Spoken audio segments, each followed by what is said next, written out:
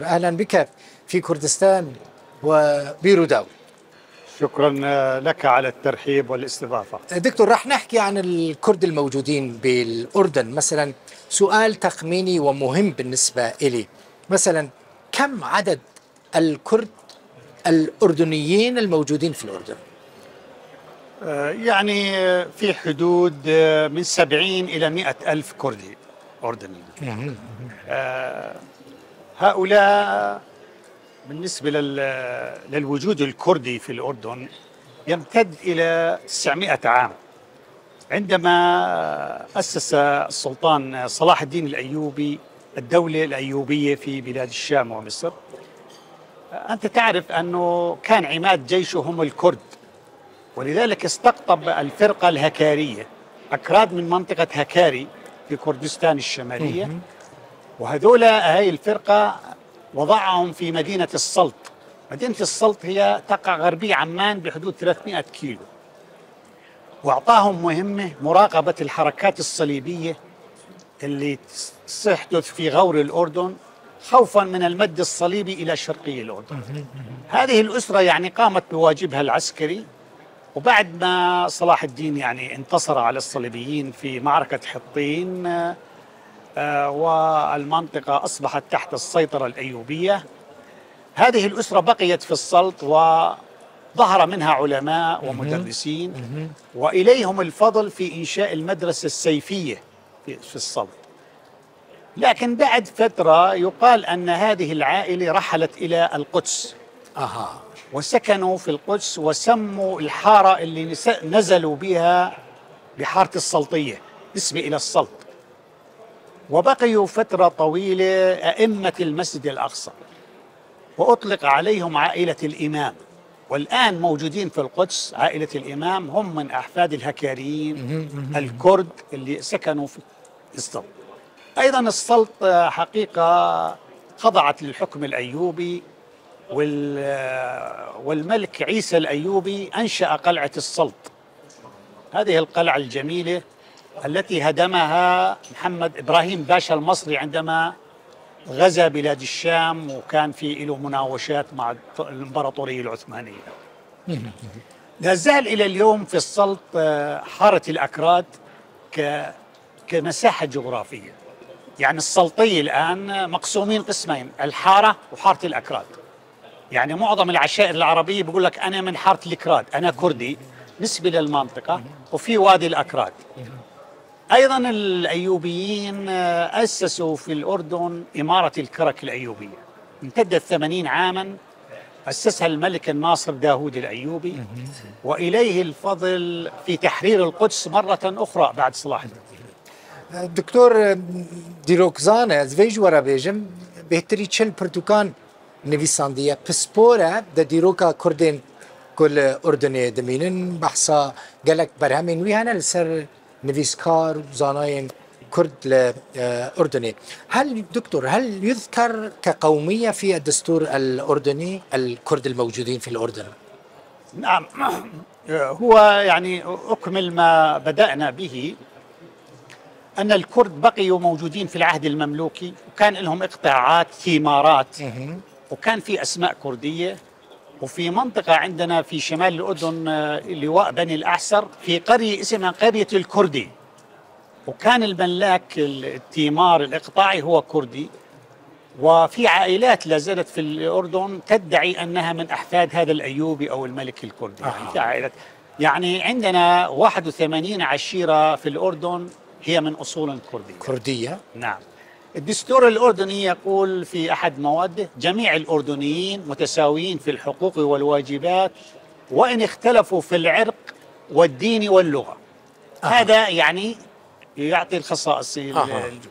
الأردن طبعا فيها أقليات عرقية مثل إخواننا الشركس الشيشان الأرمن أقليات دينية مثل الدروز إخواننا الموحدين يعني موجودين أيضا المسيحيون موجودين. آه، هؤلاء يعني آه، لهم نظرة خاصة أعطوا كوتا في البرلمان. لهم حسابات أخرى في الدولة في تشكيل الحكومات. آه نظامنا الملكي متسامح مع الجميع وأيضا فتح المجال للجميع ليأخذ من مكتسبات الدولة. نعم. أغلبية يعني الكرد في أي محافظة؟ نحن جئنا إلى الأردن بشكل فردي وذكوري. وكل واحد له قصة. أها.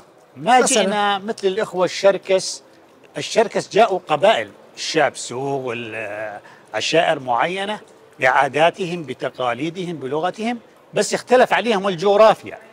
ولذلك سكنوا في عمان وادي السير الزرقاء. وشكلوا يعني ثقل اجتماعي كبير وقرب للسلطة. وبالتالي هم يعني أخذوا كوتا أخذوا مكاسب.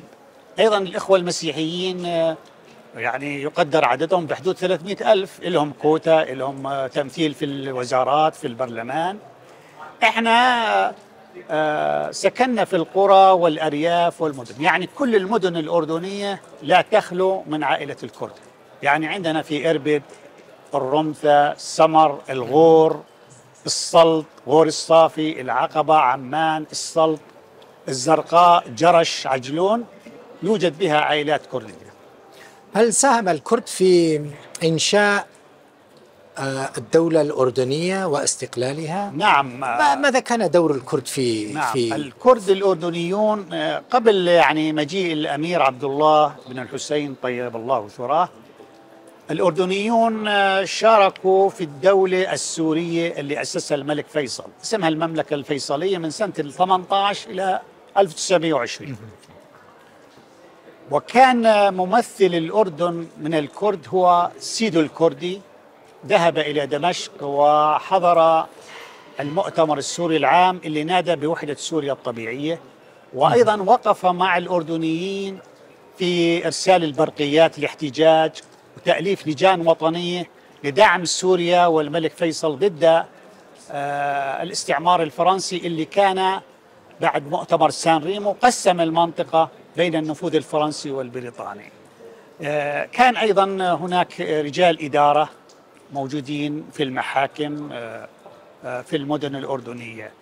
الملك عبد الله عندما جاء إلى بعان ليحرر سوريا من الفرنسيين استقبله ضباط أكراد منهم خليل بكر زازا. هذا كان قائد الحرس الأميري للملك فيصل. أيضا بدر نظمي بدر الدين. أيضا عائلات مصطفى الملي. أيضا الشريف حسين. أرسل أحد الكرد إلى عمان ليمهد للأمير قدومه إلى عمان وهو العلامة السوري خير الدين الزركلي. خير الدين الزركلي هو من مهد القدوم مع أحد شرفاء من عائلة الحارثي وكانوا في استقبال الأمير عندما قدم إلى عمان أكراد عمان علي السيد الكردي علي الكردي خير الدين الزركلي وكثير من الضباط الأكراد اللي خدموا في الجيش العثماني منهم خليل بكر زازا نظمي بدر خان آه من عائلة البرنزنجي كان أحد الضباط. رشيد باشا المدفعي هذا من قوات الثورة العربية الكبرى أيضا بقي في العمان واستلم وزير داخلية يعني أول كردي استلم وزارة في الأردن وكان مدير الأمن العام والشرطة. أيضا من مؤسسي الدرك والجيش آه، الأردني خليل بكر زازا. آه، فهؤلاء ساهموا في تدريب الجيش الأردني. وحتى يذكر فريدريك بيك قائد الجيش الأردني أن نسبة الضباط الأكراد في الجيش الأردني بنسبة ثلاثة أو أربعة بالمية. يعني استفادت الدولة من خبرات الأكراد الذين كانوا في الجيش العثماني في تأسيس الدرك والجيش الأردني وبقوا مع الأمير حتى أسسوا المملكة آه الأردنية الهاشمية. ساهموا بشكل جيد في نعم. تأسيس المملكة. طيب دكتور ما هي طبيعة العلاقة العلاقة بين الكرد والعائلة المالكة في الأردن القديمة والحديثة نعم هل هناك يعني فرق بين علاقتهم نعم وعلاقة الكرد بالعائلة المالكة منذ القدم أو الآن؟ نعم علاقتنا مع آل عون والهاشميين تعود إلى العهد الأيوبي عندما جاء جدهم قتادة من تبو من ينبع وكان في صراع في المدينة ومكة على الشرافة. تم في تلك الفترة في عهد الملك العادل تعيين آل قتادة اللي هم أجداد آل عون أشراف على مكة المكرمة فلذلك الأشراف الذين خدموا مكة من العهد الأيوبي وكان آخرهم الشريف حسين بن علي هم من أحفاد آه، قتادة اللي هو من نسل الحسن بن علي بن أبي طالب. أيضا في الثورة العربية الكبرى شارك ثلة من الجيش الكردي منهم جعفر باشا العسكري رشيد المدفعي في قيادة الثورة العربية وخاصة مع رحمه الله الملك فيصل الأول. وكانت طلائع له دخلوا على الأردن وعلى بلاد الشام وحرروها. وأيضا تذكر خليل بكر زازا كان ضابط استخبارات عند الملك فيصل وقائد الحرس الأميري. وأول من رفع العلم الثورة العربية بدمشق وفي حلب وفي بيروت هو كردي كرادي وبقيوا مع الهاشميين حتى في العراق يعني آه، تتذكر جعفر باشا العسكري مؤسس الجيش العراقي. هذا كردي. أيضا كثير من آه، آل بابان ورؤساء وزارات آه، شخصيات كردية ساموا في الأردن يعني بقي رشيد باشا المدفعي. هذا من من الرجال اللي قاتلوا في الثورة العربية الكبرى. واستلم مناصب مدير الأمن وزير داخلية. أيضا عندنا علي سيدو الكردي سيدو الكردي كوراني. أيضا كان هذا وجيه وفي أحزاب الأردنية وشارك في الحركة السياسية الأردنية. أيضا آه، نتذكر علي الكردي أحد وجهاء عمان. أيضا كان عندنا علي سيد الكردي يعني من من اللي عملوا في المجلس التشريعي كان سكرتير المجلس التشريعي البرلمان الأردني. وعلى فكرة علي سيدو هو ثالث أردني ينال الشهادة الجامعية للجامعة الأمريكية في بيروت في عهد الإمارة. مساهمات كثيرة للكرد في تأسيس الدولة الأردنية. لنأتي إلى هذا السؤال دكتور. ما هي حقوق الكرد في الأردن؟ بشكل عام الكرد الأردن يعني ينظر لهم أنهم متساويين مثلهم مثل أي أردني يعني مفتوح لهم الوظائف العامة في الجيش في الإدارة آه، في المجال العام.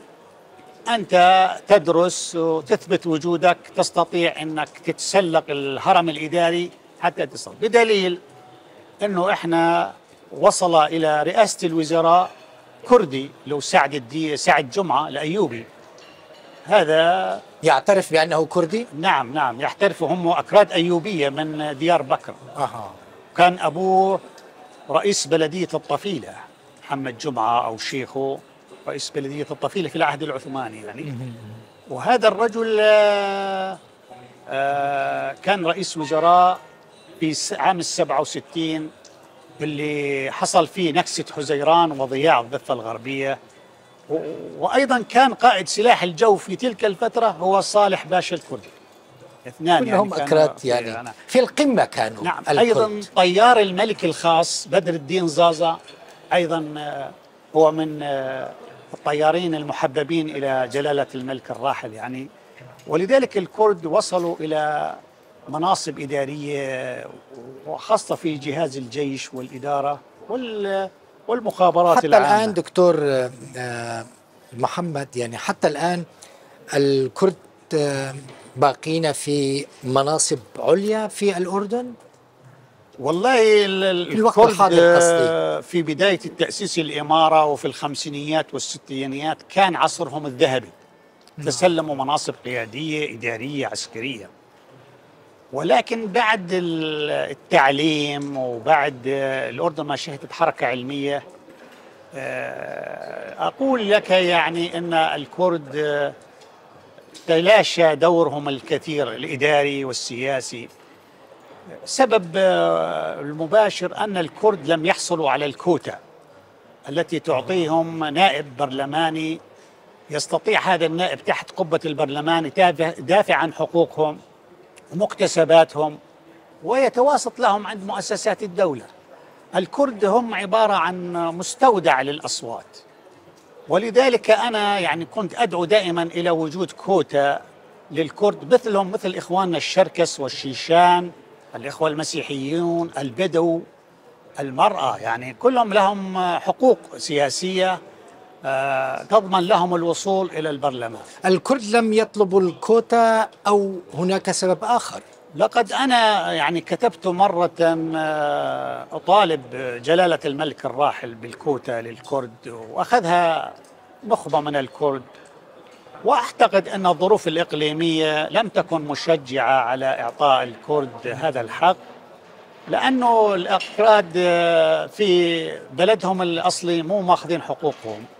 وأيضا آه، آه، كانت الجواب أنكم أردنيون وأن جميع الدوائر الانتخابية على حسابكم.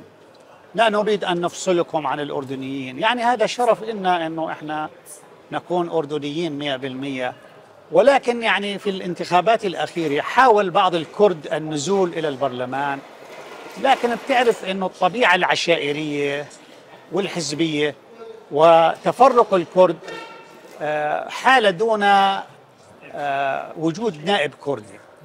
يعني للأسف آه، لم يوجد كردي داخل البرلمان الأردني. من المجلس التشريعي في عهد الإمارة إلى اليوم لم يجلس كردي تحت هذه القبة يدافع عن الكرد.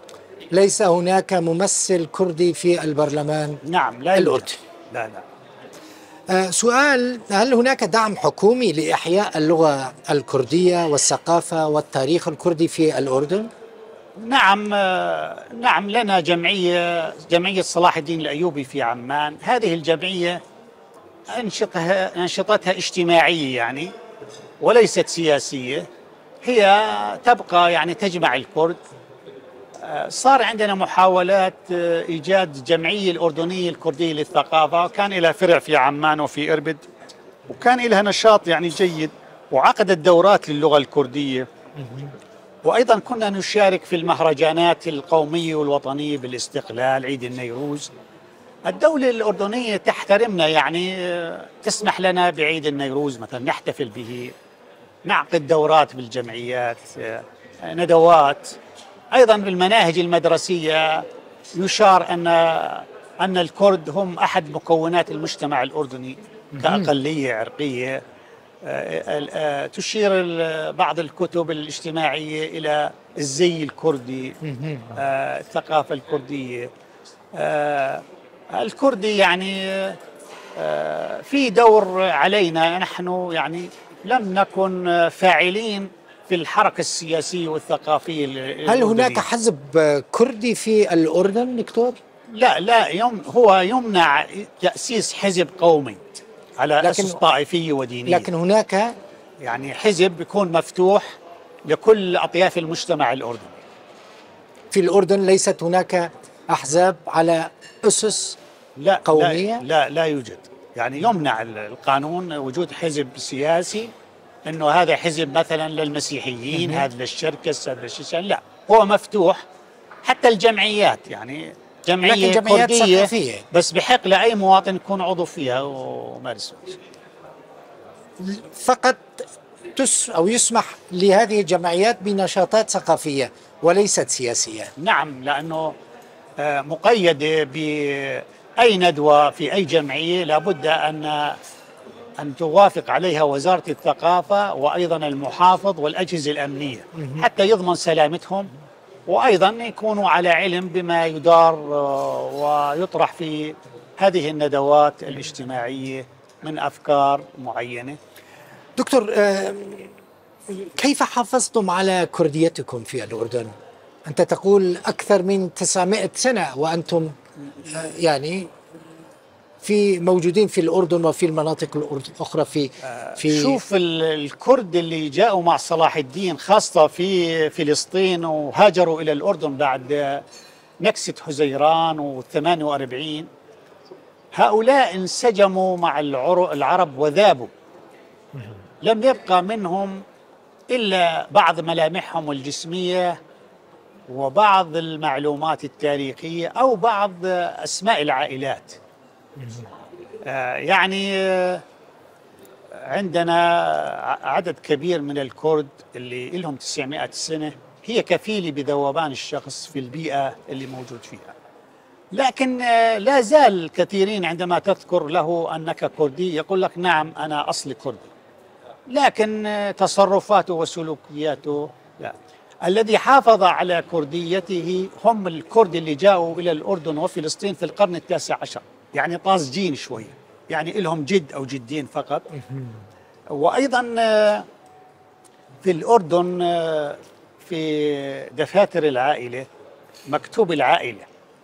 ولذلك هذا الدفتر حافظ على العائلات الكردية. آه دكتور يعني سجل اسمك آغا زازا آه. كردي كوران برزنجي. آه بعكس في دول عربية هذه ممنوعة تكتب العائلة يعني. البرزنجي بابان عسكري آه، ديركي أبو رسول خضر هاي يعني عائلات كردية عائلات مشهورة كردية. بالأردن؟ نعم معروفه مثلا شاركي حافظتم بهذه الأسماء الكردية على وجودكم في الأردن ككرد؟